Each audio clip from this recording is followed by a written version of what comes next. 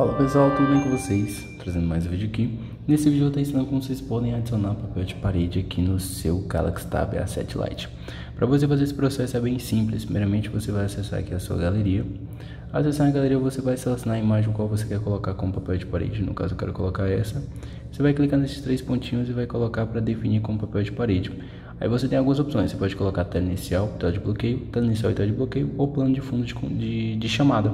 Eu quero colocar da tela inicial e da tela de bloqueio, então eu clico nessa opção e a gente vai posicionar a imagem, certo? A gente vai ter uma visão de como fica a imagem, a gente pode estar tá mexendo, mas eu quero ela dessa forma mesmo. Aí eu venho e clico aqui em cima em concluído, certo?